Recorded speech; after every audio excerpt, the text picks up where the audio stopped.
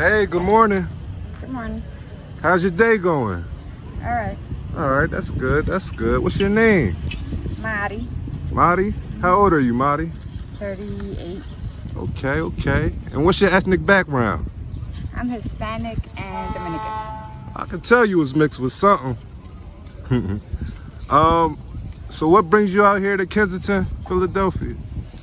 Started getting high at a young age and um, I just got stuck out here. Okay, and where you from? I'm from um, Alany. Island? Alany. Oh, Allen. Okay, okay, okay. Alany. Alany, Alany. I'm sorry, I'm sorry. All right. And what's your drug of choice? Heroin and cocaine. How often do you intake these drugs? Well, I was sober for like three months and I just came back out here for like two months, but I've been doing drugs for like 15 years. So on and off, on and off. What's the longest clean time you got? Three years. Three, okay, okay, that three years. All right, all right. Um, you got family in your corner that's fighting for you, helping you, trying to help you out at all? My daughter. Your daughter, she be trying to kick it for you, help you kick this addiction? Yeah, my mom. They rooting for you? Oh, you know you gotta do it for them. You have any children? Yeah, I got a 22 year old and I got a 15 year old.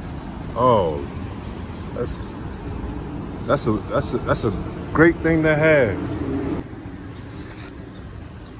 So, where do you see yourself in five years? Hopefully not in Kensington. Mm-hmm. You gotta get back in your family life.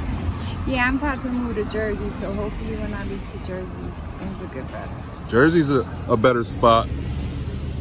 It's like people, places, and things. Once you get stuck out here, you're done. You're stuck out here. So so besides getting drugs, what else do you do out here? Like we sleep out here. We watch people fight. Mm. We watch like you see. I, I see a lot of shit. I've seen motherfuckers OD, people go in their pockets while they dead, all that stuff. See some crazy stuff. What do you do out here to support your addiction? Oh, I hustle. You I, hustle? I, I sell drugs. Mm. Mm. Anything you get your hands on type stuff or? Yeah, basically. Now, is, is it, I, I can only imagine it's hard out here to survive. Do you live out here? You got somewhere to go or you Yeah, lay your head like out I'll here? be in and out like my mom's house, but because I'm getting high, You say you stay at your mom's house in and out or? yeah, sometimes. But since I started getting high, the last two weeks I haven't been staying there. Mm. Where, where you been staying at? Like around here. Mm. A lot of people stay out here. Right. And how is it? Is it scary? Hell yeah, it's rats, people could rape, like it's crazy out here, they go in your pocket. What's the craziest thing that happened to you? Oh, God, thank God nothing yet. Like I got pistol whipped before, but it wasn't around here, it was down Eighth and Diamond. Hmm. Now, when's the last time you talked to your children? Well, I talk to them every day. Yeah, yeah. I talk to my kids every day. You got pistol whipped. Did you go to the hospital after that? Was it bad?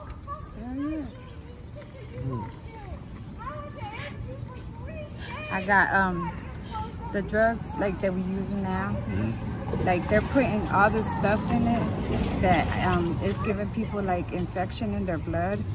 So I was in the hospital for like three months because I had infection in my blood and they can only treat it with IV.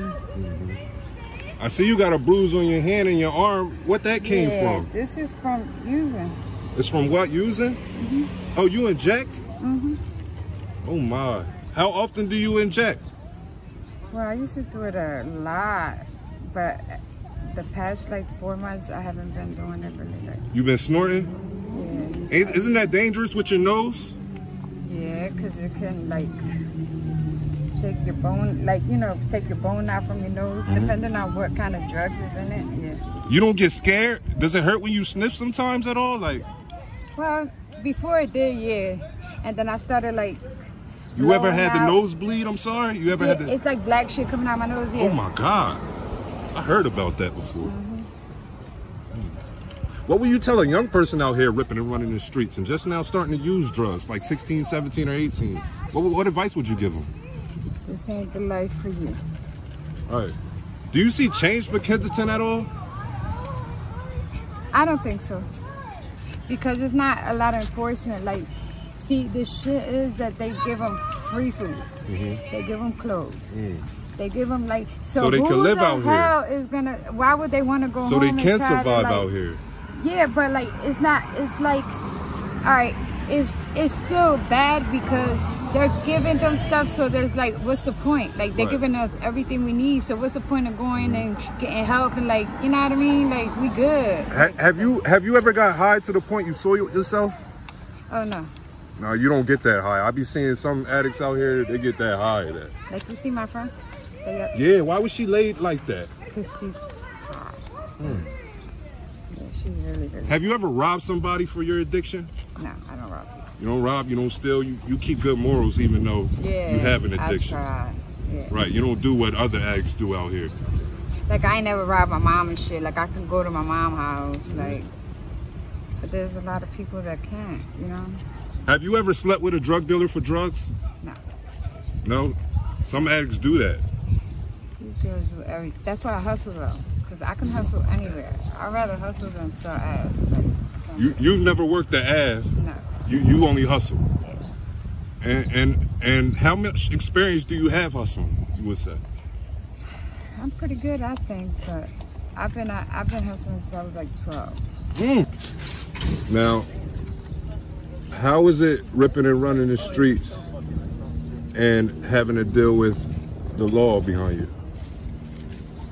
Like it's rough. Like you gotta watch your back all the time. Then you gotta watch your back when you're sleeping out here from these people because they crooks. They'll rob you. Like it's bad out here. You got to watch your back from the addicts and and, the, law. oh, yes. Yeah. No, you got it rough out here. How how much sleep do you get a day? I haven't slept for three days. Wow. Today's my third day up. Wow. Now, with all the clean time you had, you know you can do this again. You can fight again and get up out of here. You know that, right? Yeah, I know. I believe in you. You gotta trust the process and fight like you did before, Right. so you can get back in your children's life. I know your one uh your one child is is grown, but you know your other child needs Nah, you. she supports me. She helps me the most. Like she's there for me. Like, Right, right. and I don't lie to my kids about nothing I do. You're an honest like I person. talk to them about it. Like I don't want them to do what I did. So Before your drug addiction, did you do a good job taking care of them? yeah, oh yeah. I took care of my kids. I worked. I took care of my kids. I had a house. I lost all that. I did a home invasion. I went to jail, and after I went to jail the one time, it was like a domino effect. Right. Now, All Media, I'd love to thank you for your time. You've been a wonderful interviewee. I pray for you.